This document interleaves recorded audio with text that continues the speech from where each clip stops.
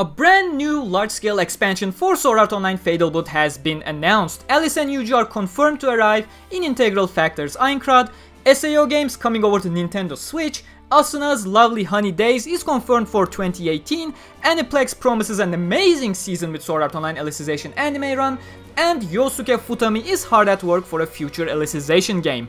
Hey everyone, it's me Gamerturk coming at you from Tokyo Game Show 2018. Uh, well, not really from Tokyo. I'm, I'm sitting at my home, but but the news that I shared on Twitter earlier today are straight from Tokyo, so let's get to them in order.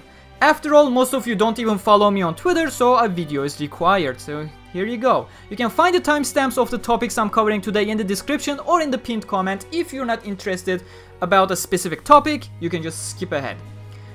Now, there were plenty of guests at the SAO panel of Tokyo Game Show 2018. Silica's voice actor, Rina Hidaka, along with Strea's voice actor, Sachika Misawa, were there and joining them, naturally, the gamer's producer, Yosuke Futami was there along with Yasukazu Kawai to speak about Integral Factor specifically.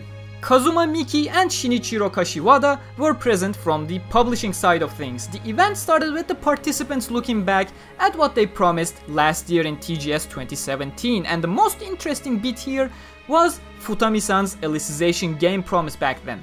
He mentioned he had been working very hard the past couple of months to make an Alicization game a reality, but the progress was slower than what he had imagined, so he had to apologize for not being able to deliver on this promise today. So, there you go guys. From a business standpoint as well as a game development standpoint, I was always talking about how the Alicization game was very unlikely to be announced today since Futami-san pitched the idea to Kawahara late February slash early March and since Alicization anime was not even airing back then and would take around a year to complete, I was not expecting an Alicization game to be announced today on this stage. Obviously, the development in such a case would have to be rushed and it would cannibalize Alicization anime run due to blatant spoilers, so it was natural that it wasn't here today. Highly likely that Kadokawa did not greenlight the idea until they got what they want with the anime run first, which is the priority of the series at the moment. Right afterwards though, the topic of Alicization continued as Kashiwada-san from Aniplex promised to make the Alicization anime quote unquote world number one. Naturally, that's an incredibly vague statement and that promise turned into an argument instead about what defines as the world number one. So he went on to rephrase this promise that they wanted to deliver a great story with amazing animation quality. And looking at the reports of the early premiere of Alicization Episode 1, they are indeed delivering exactly that. It's airing in October 6th and will have 4 cores, so around 50 episodes, but you can have more of those information on my Alicization videos if you click the icon on the top right. Now Futami-san continued with his new pledge that he wanted to make SAO home console game sales into the 10 million sales territory, which which they currently stand at 4.6 million, but the announcements that followed this promise showed a very promising picture. Meanwhile, Kawai-san promised to release SAO mobile apps in 196 countries, so these are indeed great news for those who have been commenting on my videos that they can't find Integral Factor in their app store. Something is coming for you guys, just hang in there. Login bonuses and returning player bonuses were announced for Memory Defrag, tons of diamonds, yada yada. Then we get to hear more about the Asuna dating app called Lovely Honey Days, the VR app. We didn't see much from the app, but they confirmed that it would be out in 2018 and that the pre-registration process has already been started. But then, the actual significant news started rolling. Alice and Eugeo have been confirmed for Integral Factor, which is an extremely interesting choice given the backstories of these characters. It was already confusing in the gameverse, but while the logic did not match up perfectly in games like Hollow Realization or Fatal Bullet, the timeline at the very least did match up somewhat. Introducing these into Integral Factor where we just received floor 10 is stretching it way too far, way further than they stretched it with Leafa, Yuki and Sinon appearing on Aincrad, but hey, they are fan favorite characters now, especially with Alicization just on the horizon, so we may as well enjoy the company of these characters now. After all, Reki Kawahara, made a cameo on the stage via pre-recorded video and asked how the two characters made it into Aincrad and Kawai-san promised that the game would explain these mysterious circumstances and of course more events and rewards in Integral Factor have been announced. Aside from Kawahara, Asuna's VA Haruka Tomatsu as well as Kirito's VA Yoshitsugu Matsuoka made appearances as well via videos.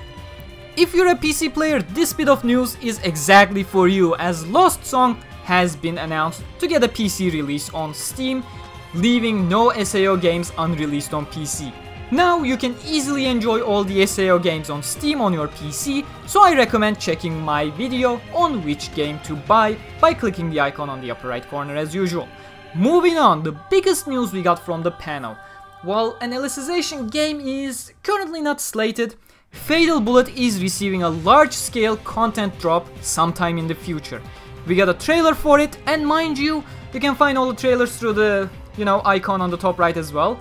And this trailer features Sachi as well as the diva Yuna from Ordinal Scale as a cameo. The new DLC is titled The Diva of the Snowfields, which is a reference to both Yuna and Sachi, since both are considered to enjoy singing, and of course, snowy fields are there for Sachi if you watch the anime or read the novels. We know nothing much about the DLC, but we did learn that it will take place after the main story, rather than, you know, the previous DLC episodes that were prequels to the ending.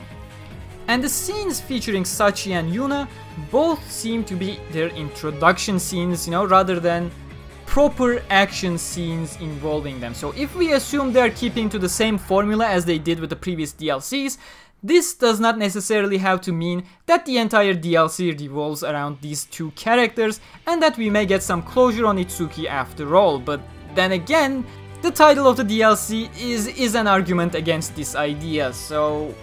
Uh, I, I don't really know, it, it literally can go either way.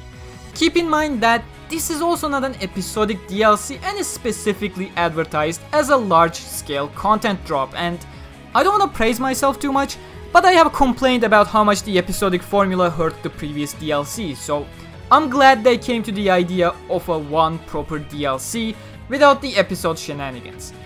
But it is not included in the season pass since it's an extra DLC that they announced just now, and while we do not know if it'll be paid DLC or not, chances are it will be a paid DLC, yes. Still, I'll let you know if we do get any more news regarding that.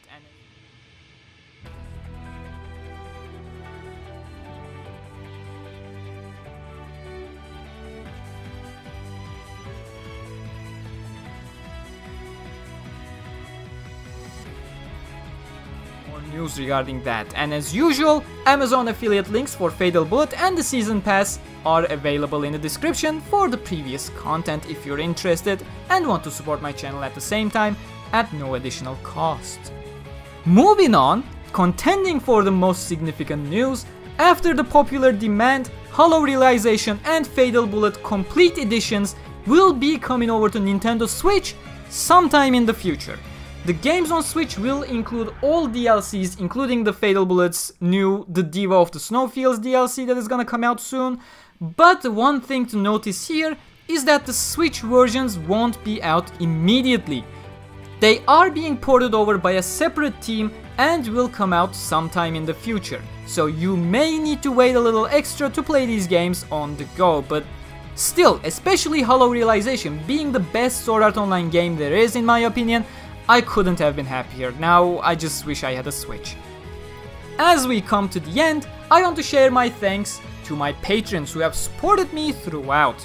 Along with you guys watching, opportunities provided by the SAO Wikia and my amazing patrons backing up my channel, I wouldn't be able to closely follow the news and share them with you like this, so do support me on Patreon if you appreciate what I do here and even if you're not in a position to do so, the least you can do is to follow me here and on Twitter at GamerTurk95 and hit that bell icon to get notified whenever I share these news. Once again, thank you very much for watching and I'll see you guys next time. Take care.